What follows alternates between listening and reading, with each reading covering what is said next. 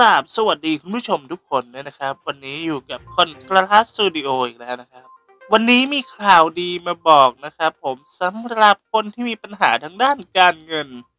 สินเชื่อบัตรคนจน แก้ไขหนี้นอกระบบวงเงิน 50,000 บาท จากธนาคารอะไรนะเหรอก็จากธนาคารออมสินไง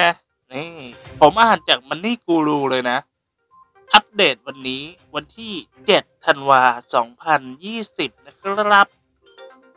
เขาบอกว่าในเดือนธันวาคมนี้ ท่านที่ถือบัตรสวัสดิการแห่งรัฐหรือบัตรคนจนนั้นเวลานี้ธนาคารออมสิน ปล่อยเงินกู้สินเชื่อวงเงิน 50,000 บาท เพียงแค่ท่านบอกว่ามีบัตรคนจนเท่านั้นแหละ ง่ายๆ โดยวิธีสมัครสินเชื่อ ผู้ถือบัตรคนจนสำหรับแก้ไขหนี้นอกระบบเดือนธันวาคมนี้ ธนาคารออมสินจะมีรายละเอียดอย่างไร ไปดูกันเลย วิธีสมัครสินเชื่อ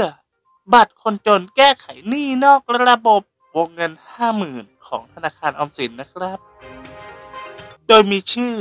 สินเชื่อโครงการธนาคารประชาชน เพื่อแก้ไขหนี้นอกระบบ โอ้ย ชื่อยาวไปหน่อยไหม ขอเพียงท่านผู้อ่านมีบัตรสวัสดิการแห่งรัฐหรือบัตรคนจนอ่าเอาใจกันเป็นพิเศษแล้ว โดยที่ธนาคารจะให้กู้ตามมูลหนี้นอกระบบจริง เรามาดูจุดเด่นของสินเชื่อนี้กันดีกว่านะครับอ่าวงเงินนะครับ กู้50,000 บาท อัตราดอกเบี้ยร้อยละ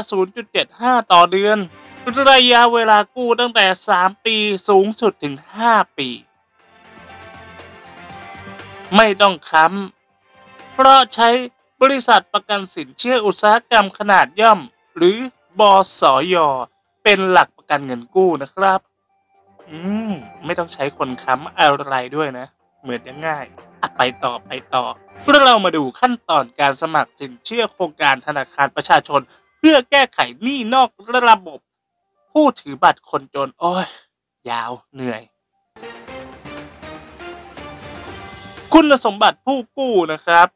ท่านผู้ที่จะขอสินเชื่อจะต้องเป็นผู้ที่มีการประกอบอาชีพมีรายได้แน่นอนนะครับ โอ้สองท่านผู้ที่จะขอสินเชื่อจะต้องมีสัญชาติไทย ท่านผู้ที่จะขอสินเชื่อนั้น จะต้องมีอายุครบ 20 ปีบริบูรณ์ แต่ต้องไม่เกิน 65 ปีนะ เดี๋ยวจะผ่อนไม่ทัน ท่านผู้ที่จะขอสินเชื่อ จะต้องมีถิ่นที่อยู่อย่างแน่นอนมีสถานประกอบอาชีพสามารถติดต่อได้ ท่านผู้ที่จะขอสินเชื่อ จะต้องเป็นผู้ลงทะเบียนหนี้นอกระบบนรหนึ่งโดยสามารถลงทะเบียนได้ในวันที่ขอกู้จากธนาคารเลย ผู้ที่สนใจสามารถเดินทางไปสมัครได้ที่ธนาคารออมสินสำนักงานใหญ่ คอเซ็นเตอร์ก็ 1115 นะครับผมโอ้ หรือธนาคารออมสินทุกสาขาใกล้บ้านท่านนะครับผมเออสำเนาบัตรประจำตัวประชาชนนะครับ สำเนาทะเบียนบ้านผู้กู้ สำเนาผู้ค้ำประกัน เอ๊ะ ไหนบอกว่าไม่ต้องค้ำไง อะ เตรียมไปก็ดีนะ เอกสารแสดงรายได้ในการประกอบอาชีพ สมุดบัญชีเงินฝากสลิปเงินเดือน ถ้ามีนะ เอกสารเรื่องรายรับรายจ่าย ถ้ามีนะ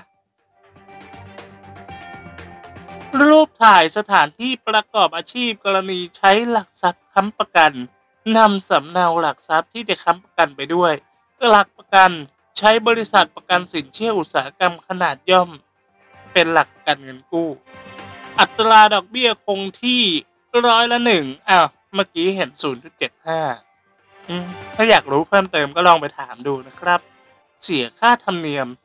100 บาทต่อสัญญานะครับ ผมวันเนี้ยเพิ่งจะมีข่าววันนี้เลยนะครับสดๆร้อนๆนะฮะก็เป็น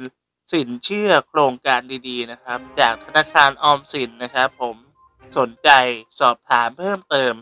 ไปที่ธนาคารกันได้เลยนะครับ ไปให้ไวนะครับ ผมนะพอดีอ่านข่าวเจอก็เลยเอามาแบ่งปันกันนะครับ